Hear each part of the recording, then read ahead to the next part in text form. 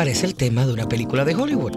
Un tímido chico granjero se muda a una gran ciudad en busca del estrellato y se convierte en el hombre más sexy del planeta. Pero esto no es cine. People are just so smitten with him. It's like back to high school days. Oh my God, it's Richard Gere. Richard Gere redefinió lo que hace un hombre ardiente. It could be very, very difficult. You have to come to terms with being a, uh, a, a sex symbol. Y sobrepasó el límite del poder de una superestrella.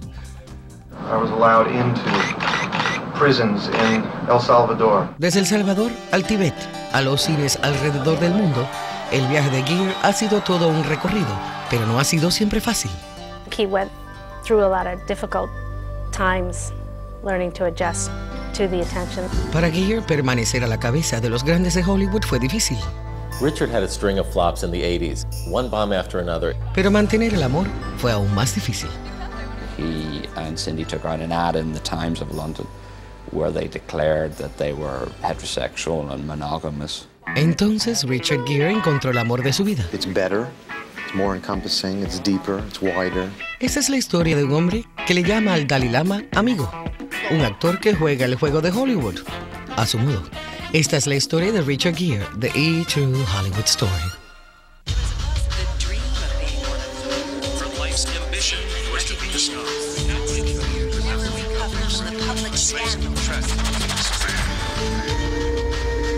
Richard.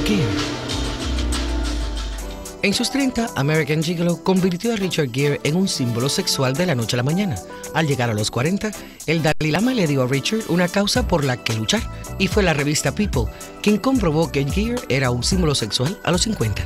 When he was 50 years old, Richard won People magazine's Sexiest Man Alive, and that was a testament to his enduring appeal. He's charming, he's handsome, he has those deep set eyes that pierce right into you. This was a guy who was proud of the fact that he was aging in Hollywood. He laughs at it, but you know, I could see, you know, him turning 60 and 70 and still being one of the sexiest men in Hollywood. La vida de Richard Gere empezó lejos del glamour de Hollywood. Sus padres eran granjeros en Pennsylvania. El 29 de agosto del 49, Homer y Doris le dieron la bienvenida al mundo. Richard Tiffany Gere era el segundo de cinco hijos.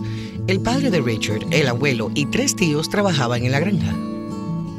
I think that was always something that I felt was um, part of my true self, this farm boy kind of thing. Pero la vida en la granja era dura. Y cuando Richard era pequeño, Homer mudó a su familia para Syracuse, New York. Allí tomó un trabajo como vendedor de seguros. Doris cuidaba de los hijos. Even though they were from Syracuse, they were kind of American, Midwestern. His dad was the confessor of the neighborhood, you know, as insurance salesmen are in America in the old days, you know. Los padres de Richard asistían a la iglesia metodista cada domingo y cantaban en el coro. Richard tomaba clases semanales de música con un profesor privado. Richard daba muestras de mucho talento. The thing that was cool about Richard was that he could kind of pick up any instrument and play it. A los 14 años, Richard formó un grupo musical. El grupo tocaba en bodas y eventos sociales. En el colegio North Syracuse Central, Gere escribió partituras musicales para obras teatrales. Con el tiempo intentó la actuación. Richard Gere se convirtió rápidamente en el actor principal en Syracuse Central. You discuss with him his early years, he kind of blushes and he says, you know, oh God, do we have to go there? This is so embarrassing. You know, all I really want to say is I was just this incredibly shy kid. But if you go and you look at his high school yearbook, the guy was in every club you can imagine. He was part of the student council, he was in the glee club, he played in the band, and he was, you know, a gymnast. Las cualidades atléticas de Gere conquistaron una beca en la Universidad de Massachusetts en Amherst. Richard got a gymnastics scholarship to Amherst. He was actually a really great gymnast in his high school, so he got this terrific scholarship. En el otoño del 67, el atleta de 18 años se marchó a la universidad. Gere estudió filosofía y drama, pero pasaba la mayor parte de su tiempo en los cines del lugar. En el verano del 69, Gere acompañó a uno de sus compañeros de clases a una audición en una sala de teatro en Provincetown. Provincetown lived for years off its reputation as being the birthplace of American drama. When you're driving down to Provincetown, you come to a fork in the road. Don't know if that sign is still there, but the sign says Provincetown both ways, and that was an apt description of Provincetown. It was the most licentious, libidinous place I'd ever been to in my life. Gere aprovechó el instante y audicionó también. El director artístico Bill Roberts quedó impresionado y tomó a Richard bajo su protección. I remember the artistic director describing it. He was just overwhelmed by what Richard had accomplished.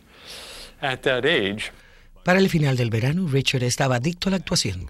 as matters turned out, he did not go back to UMass and get all this focus. And you're doing it all the time, and you're being salaried.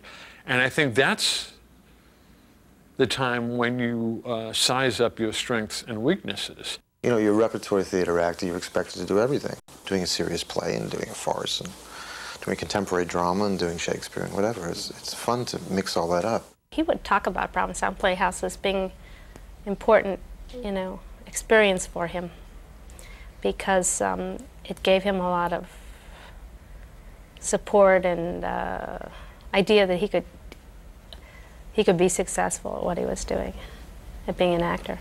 Bill Roberts estaba tan maravillado del talento de Gere que lo llevó con él para el teatro de Seattle Repertory. Bill Roberts had gotten him a uh, journeyman's contract out in Seattle Rep, where Bill was the designer. Whatever else was going on in Bill's head, he wanted something good for Richard. No obstante, Seattle fue un fracaso.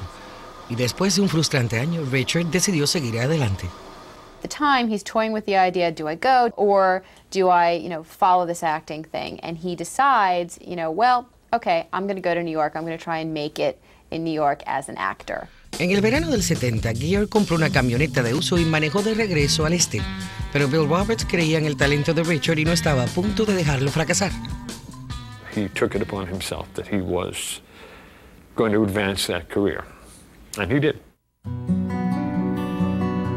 A continuación, otoño en Nueva York. When I met him, he was like, had just taken his first apartment in New York City. It was in a god awful neighborhood. Y más tarde, I remember where he would just go off in the corner of the rehearsal room and just cry, just sit in the corner and cry.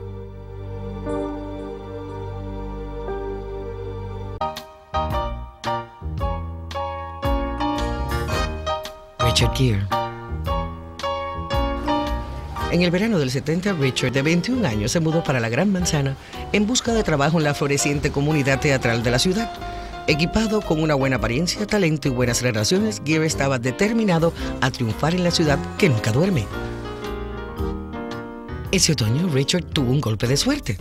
La esposa del director artístico Bill Roberts lo puso en contacto con Ed Limato, un agente en International Creative Management. Limato firmó a Gere de buena fe. El riesgo dio frutos al momento. Richard consiguió un papel en una ópera rock de Broadway titulada Soon. I felt very fortunate.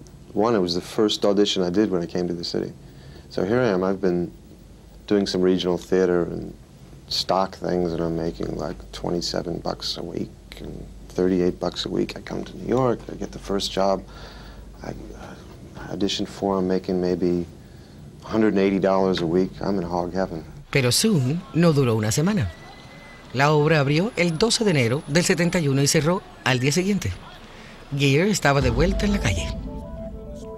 He was dealing with his feelings, you know, feelings of insecurity, um, being alone, you know, um, of knowing that you have great potential and there are, great things to do.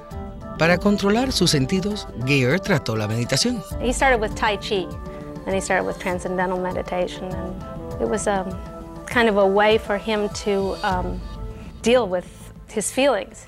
He drank for a while, but you know that didn't work. It wasn't like practical.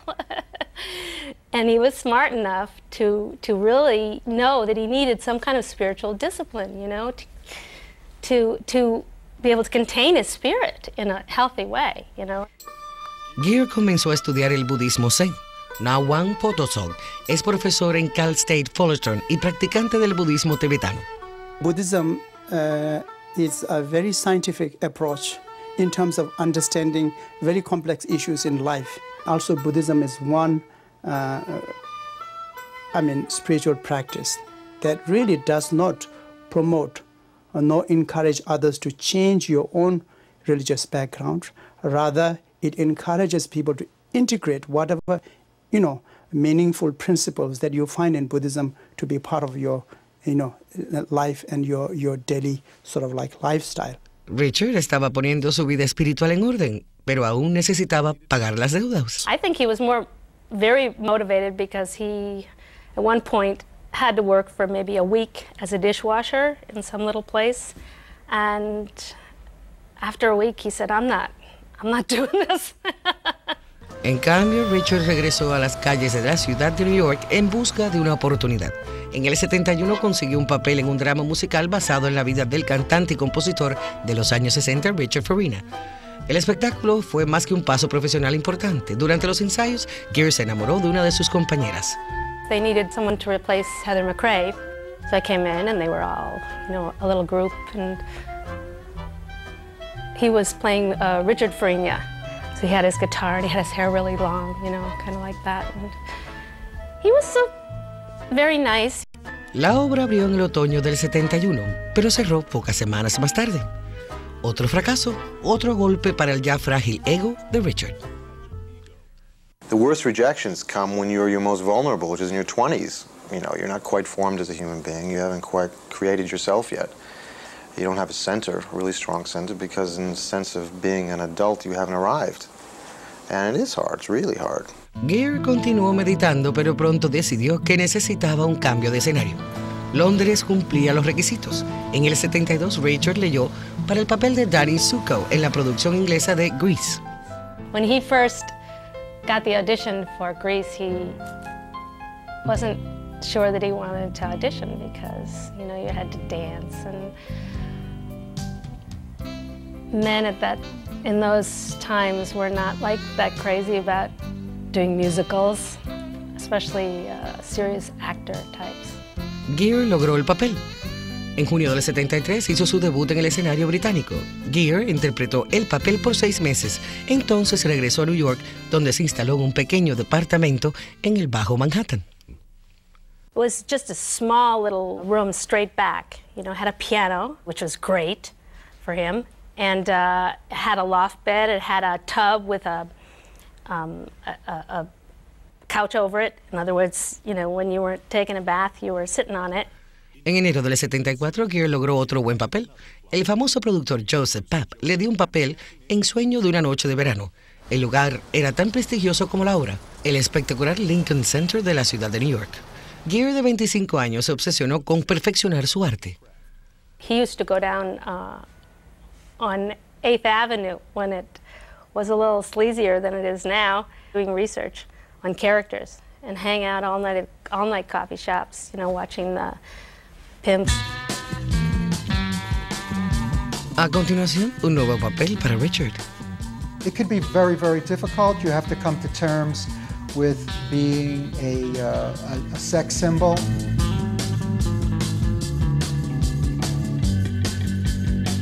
Richard Gere.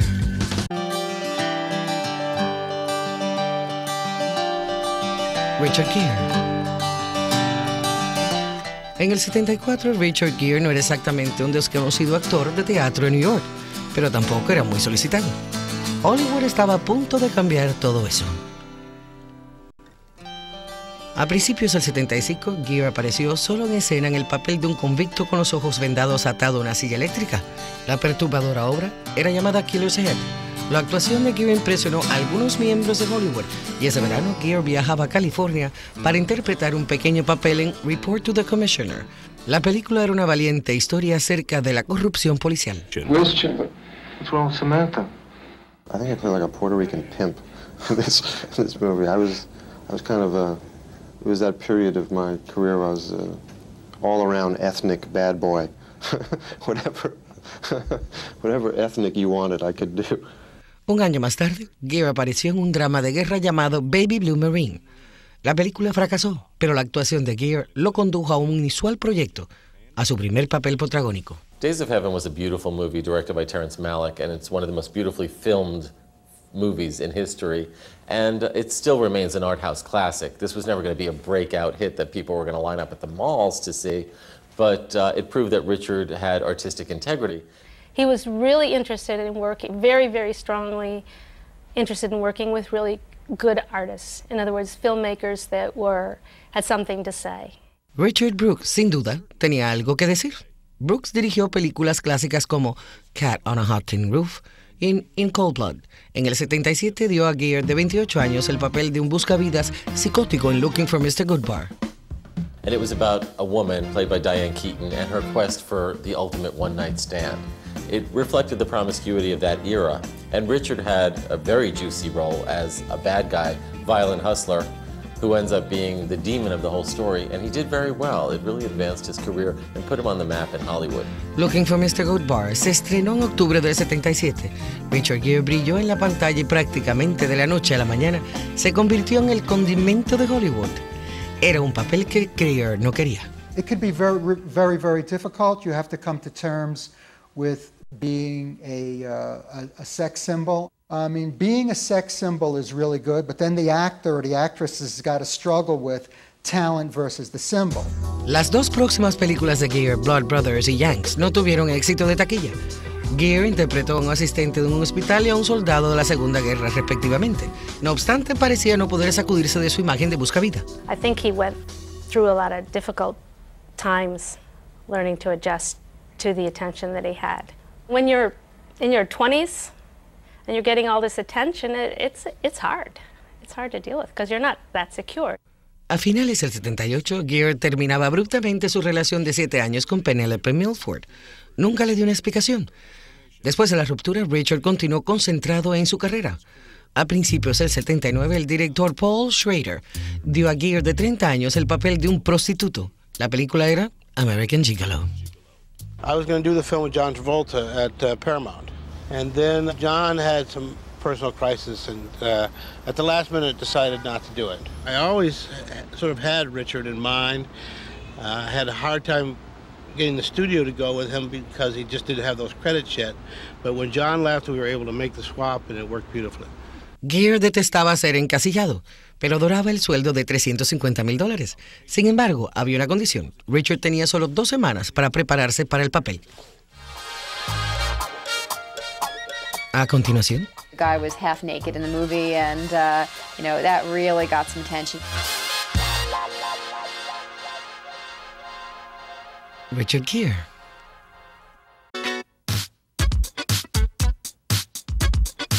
Richard Gere.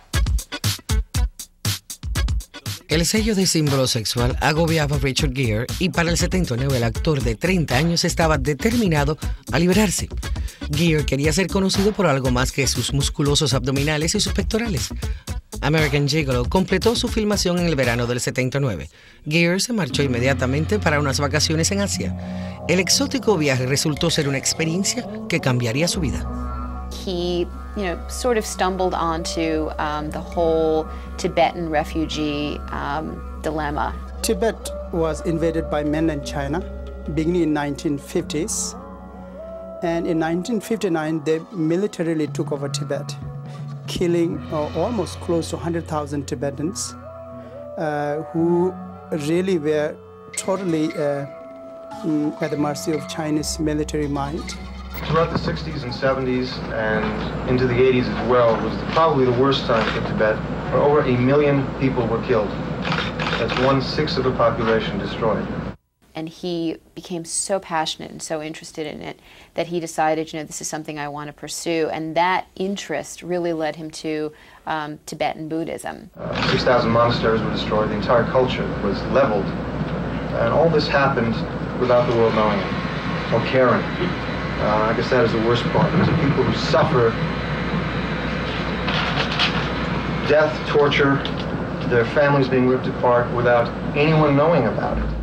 Richard se obsesionó con la situación del Tíbet y su pueblo y empezó la práctica del budismo tibetano, el cual da énfasis a la ética, la meditación y la cordura. Gere estaba además listo para un desafío artístico. En el otoño del 79 comenzó a ensayar una controversial obra en Broadway llamada Bent. Richard interpretaba a un homosexual en la Alemania nazi. It's essentially a love story that takes place in a concentration camp, Dachau, where the main character, which was played by Richard Gere, is taken after he kills, he's forced to kill his lover by the Nazis on a train. and uh, he meets another homosexual, and it's their love affair, basically. Richard was very um, willing and very open to doing whatever was necessary to make it real and believable. And there were days I remember where he would just go off in the corner of the rehearsal room and just cry, just sit in the corner and cry. Ben se estrenó en el Teatro Apollo el 2 de diciembre del 79. Los críticos y el público elogiaron la obra. It was a very shocking play at, in its time, a very revolutionary play. Nothing like it had ever been done on Broadway before. And it's very famous for having a sex scene in it that's um, become part of theatrical history in a sense, in that the two guys, because of the fact that they are in a concentration camp, they can't touch each other. Um, they're being watched all the time. They actually bring each other to orgasm um, just by talking. Every night people would cheer at the end of that scene as if it was the end of a play. La fascinante actuación de Gere comprobó que tenía talento para enfrentarse a cualquier papel, pero Richard fue demasiado convincente, dando alas a rumores sobre su vida personal. Starting with Bent, he really um, started to advocate a lot of gay and lesbian causes. You know, these became very important to him, and he spoke out on behalf of these causes. And that led to quite a few rumors that circulated around him for years. He thought it was almost, I think, insulting to um, the gay community to come out and say, I'm not gay. Mientras tanto, American Gigolo llegaba a los cines. El público la adoró, especialmente el femenino. My God, you know, if women weren't swooning over him before, they certainly were swooning at that point. You know, the guy was half naked in the movie, and, uh, you know, that really got some attention. He will tell you that that's a really difficult thing for him. I don't think he ever loved the public side of being a celebrity. Gere lucía bien tanto vestido como sin vestir. Con American Gigolo, el apuesto actor impuso una moda y el diseñador Giorgio Armani se convirtió en un nombre familiar.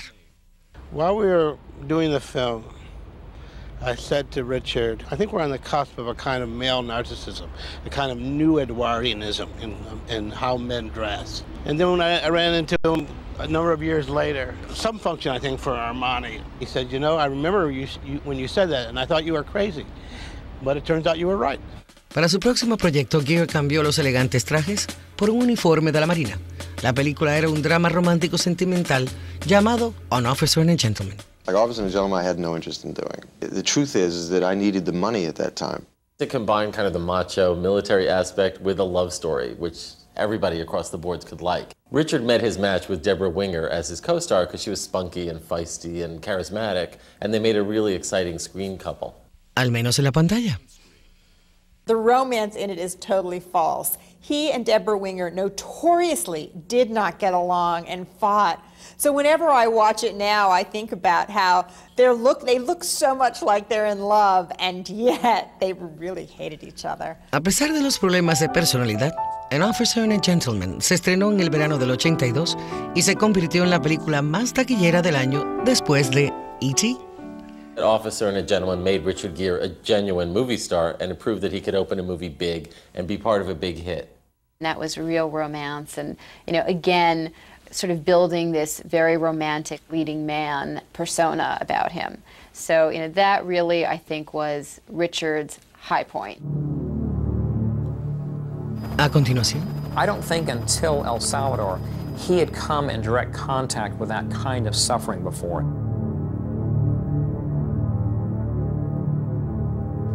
Richard Gere.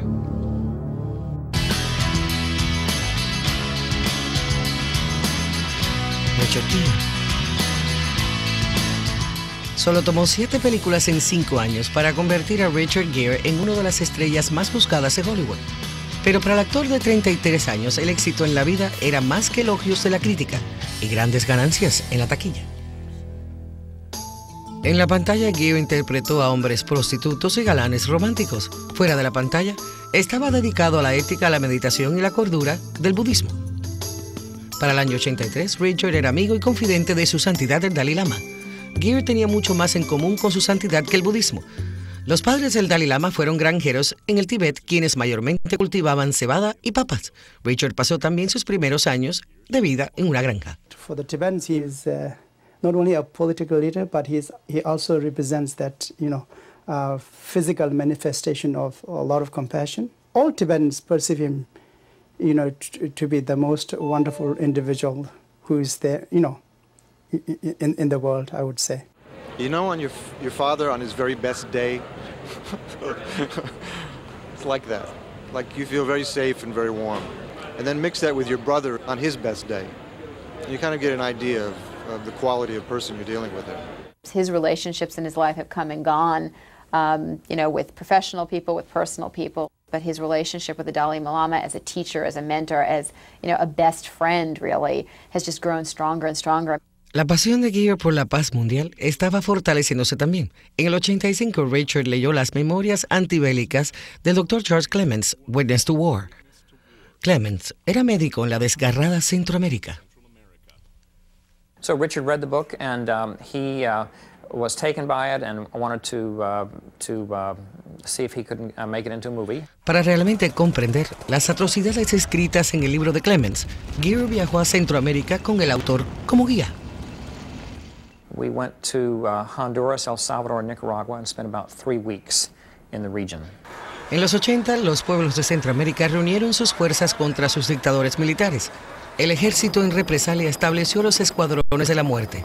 Cientos de miles de campesinos fueron masacrados. I was allowed into prisons in El Salvador. Uh, saw the kind of torture, and the remains of, of people disappeared, the books of body parts that had been collected by comadres. I don't think until El Salvador he had come in direct contact with that kind of suffering before. And I think that that, um, that was a tremendously um, transformative uh, experience for, for, for Richard. El libro de Clements nunca pudo llevarse a la pantalla, pero Gere se convirtió en un franco intercesor para poner fin al abuso de derechos humanos en Centroamérica. But he certainly uh, remained active for a while, and uh, he went to uh, Congress and lobbied some members of Congress. So I think that he actually, you know, put his put his uh, his, his his feelings into into commitment. Gear además reafirmó su compromiso de ayudar a preservar la cultura tibetana. En el 87 fundó la organización Tibet House en la ciudad de New York, dedicada a la preservación y la restauración de la cultura y la herencia espiritual del Tíbet. They're totally compassionate people. It's very hard to get them to say anything bad about the Chinese. Peculiar. They believe in compassion and forgiveness. Richard Gere no fue la única celebridad que se acercó al budismo. Goldie Hawn, Sharon Stone, Steven Seagal y Adam Kaut de los Beastie Boys practicaron la religión. I find uh, this beautiful sort of like a um, marriage between Hollywood and, and, and Tibetan Buddhism. He is so passionate about this cause that he's given a great deal, not just of his money, but his time. De hecho, Richard empeñaba tanto tiempo en ayudar a otros que parecía perder interés en la actuación.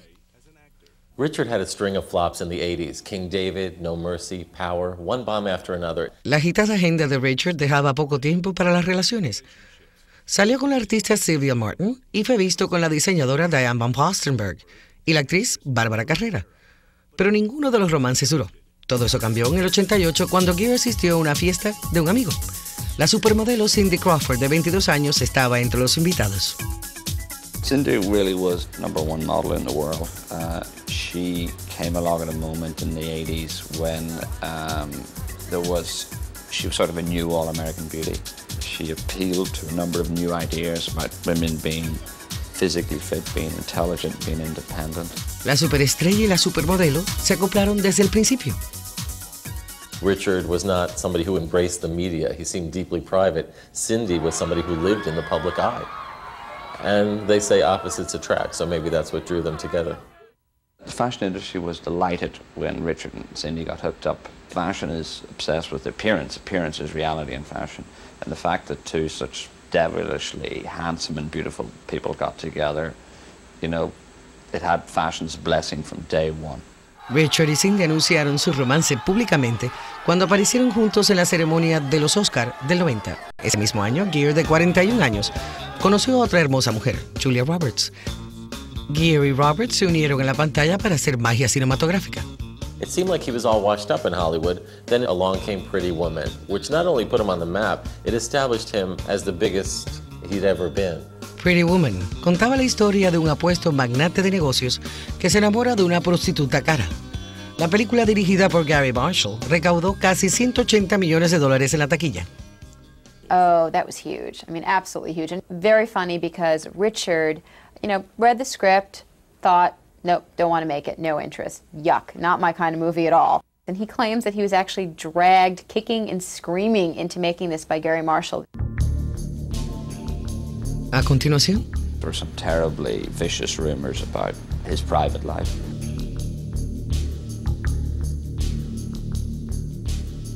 Richard Gere. Richard Gere. Cuando Richard Gere conoció a Cindy Crawford, su vida parecía estar perfecta. Gere tenía una bella y popular novia, su carrera estaba de vuelta por el buen camino y sus esfuerzos humanitarios estaban salvando vidas. El 12 de diciembre del 91, Cindy Crawford y Richard Gere se convirtieron en marido y mujer. Gere tenía 42 años, Crawford 25. La ceremonia fue cualquier cosa menos lujosa. They used as wedding rings chewing gum wrappers. And they got married in the little church of the West where Elvis Presley performed and got married. And um, it was seemed very impromptu, like every wedding in Vegas. Gere continuó hablando sobre el Tíbet, lo cual no lo hizo ganar ninguna popularidad, especialmente cuando usó su participación en los premios número 63 de la Academia como tribuna política. In 93, during an Oscar telecast, Richard made very pointed anti China comments in the middle of the ceremony. He knew what he was doing. He understood that the criticism would come with it, but he also knew that two and a half billion people were watching TV at that time around the world. And uh, that was a moment where he could focus attention on something that uh, was very important to him. Un año más tarde, en mayo del 94, Richard y Cindy concentraron su atención en algo muy importante para ellos, su matrimonio.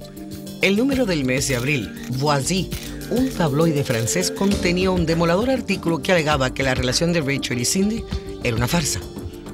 Richard Gere unfortunately had to pay a very high price for being the first metrosexual. He was the first guy that came along who was kind of took care of his appearance, looked great, was sensitive to certain issues from being a Buddhist, or he was thoughtful.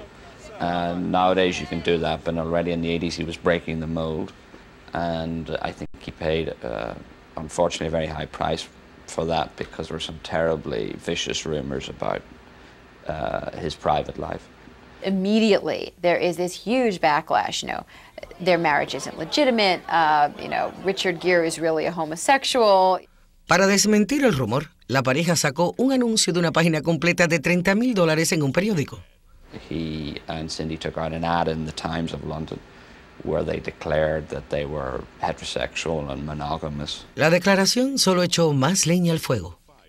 I think the feeling in the gay community was this is really insulting. I mean, whatever you may feel about the rumors or the truths, just don't act as if it's the most horrible thing that could happen to somebody and take out an ad and spend money proving something that can't be proven. Either you are or you aren't.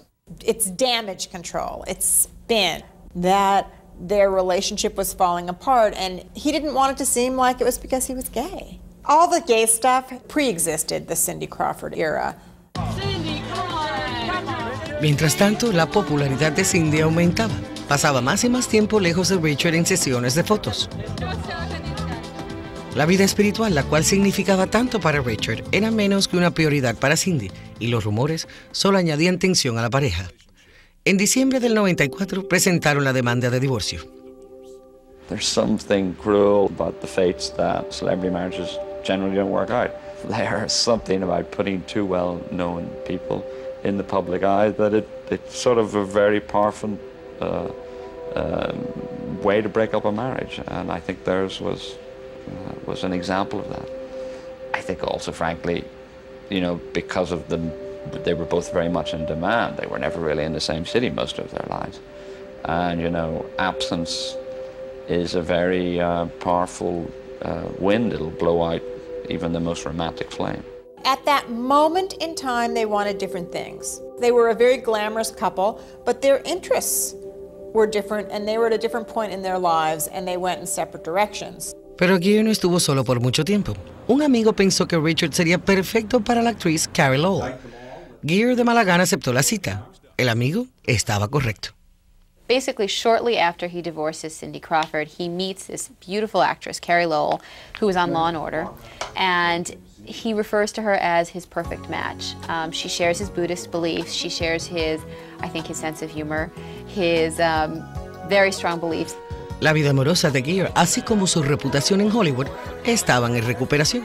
En octubre del 98 se unió otra vez con Julia Roberts y el director Garry Marshall para la comedia romántica Runaway Bride. He said he had no idea whatsoever that people 10 years later would be begging him to reunite with Julia Roberts.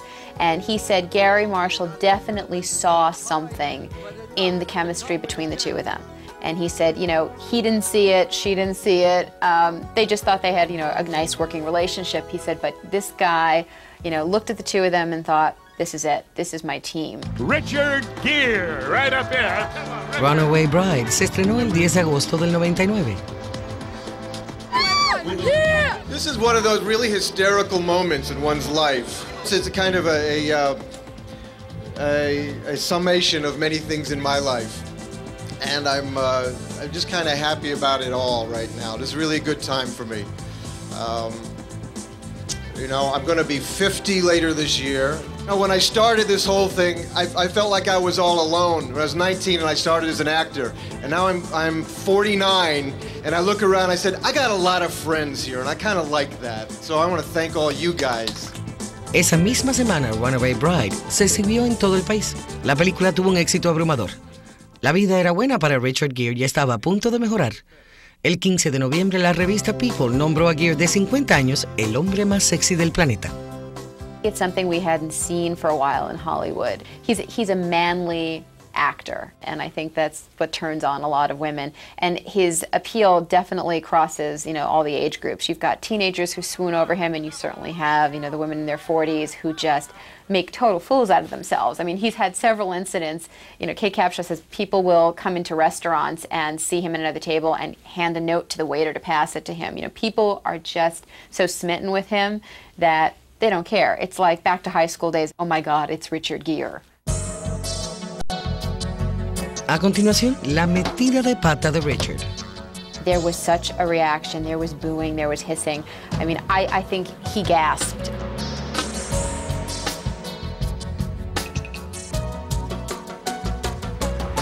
Richard Gere.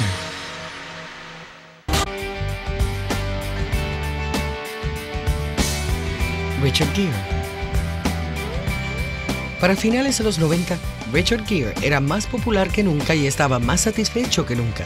La revista People consideró a Gere el hombre más sexy del planeta y su novia Carrie Lowell estaba embarazada.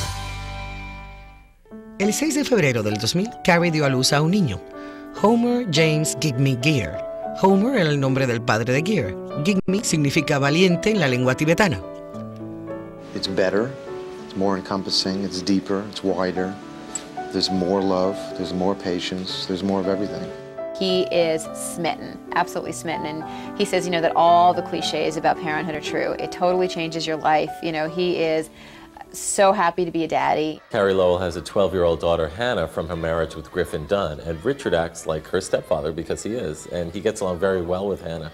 And also now Richard and Carey have this young child, a young boy, and Richard has fit pretty well into the role of daddy. Uh, he takes out the garbage, he does all the things, you know, that a daddy's supposed to do in the house. Pero fuera del hogar, Gere era un controversial.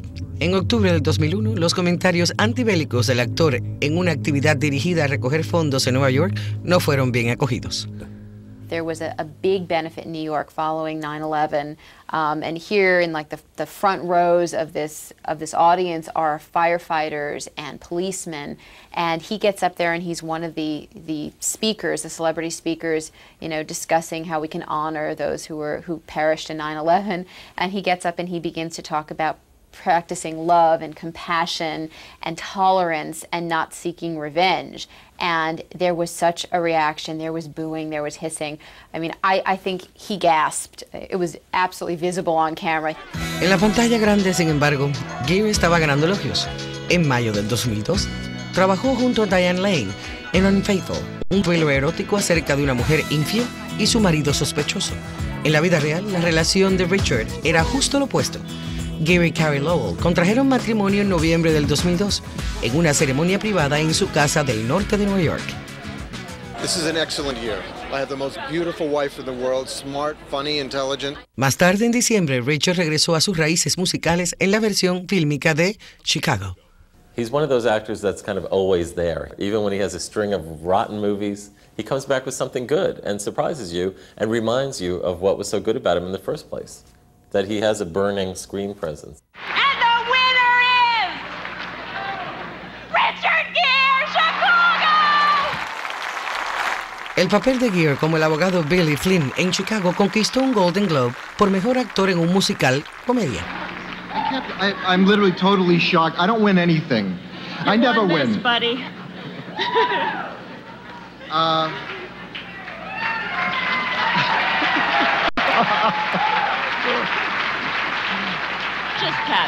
and I didn't even want to do this movie. Ese otoño, Gere era visto frente a otro tipo de audiencia. El 21 de septiembre del 2003, el Dalai Lama se presentó en el Parque Central de la ciudad de Nueva York. Richard presentó a su viejo líder espiritual a una inmensa y agradecida muchedumbre.